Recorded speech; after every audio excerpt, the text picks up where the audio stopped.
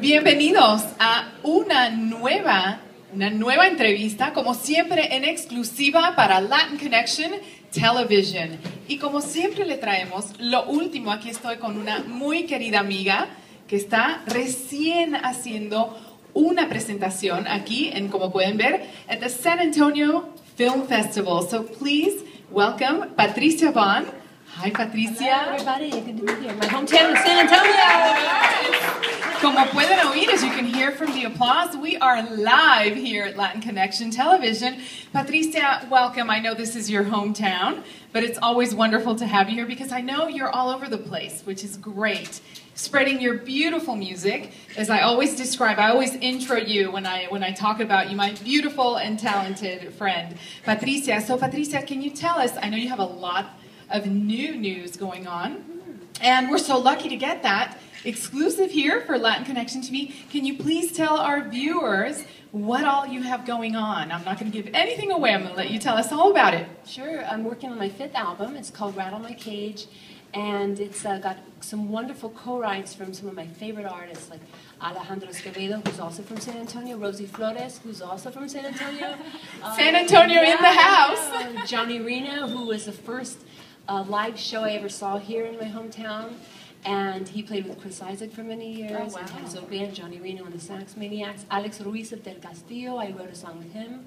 And the late but great Doyle Bramhall, who wrote many songs with Steve Ray Vaughan. We have a co-write on this new album, so it's like a collaboration of music um, on this very special fifth album. And as a musician, you think, you know, after you write your first song, your first album, you think, maybe that's all I have in me, but wow, f- fifth, five albums later. Five albums exciting. Later. Going back to Europe in July and October Yes. to tour for five or six weeks each time. And it's wonderful to take the music of Texas, especially San Antonio. They, mo- they know more about the legacy of Texas music sometimes than we do. They remind us about it, and they just think that we're from another planet, not another country. So it's really wonderful to bring the culture over there, right. and they really appreciate it. So it's a wonderful way to be able to tour as an independent artist. 'cause it's hard to even tour outside of Texas Right. when you're putting out your own albums and you, you know you're financing everything. And speaking of, speaking of putting out your own album and financing, can you tell us you've got a special campaign going on at uh, Oh, it's called Kickstarter, and it's Kickstarter campaign, and you can go to my website, patriciavonne.com, and it's right there. You just poke on it, or go to Kickstarter and put my name in the search bar. But we're almost there. We're going for a $10,000 goal, which pays for ev- absolutely everything, even a music video manufacturing, studio, musicians, radio promotion, and uh, we're at the 9,000 mark. So we're almost there where I know we're going to make it. You are Getting almost. everybody involved, you know. That is very good. You're almost at the at the uh, ten thousand mark. And another new thing that I happen to know, just because you're my friend and she whispered it in my ear, you have another new exciting thing coming around, a new film, correct?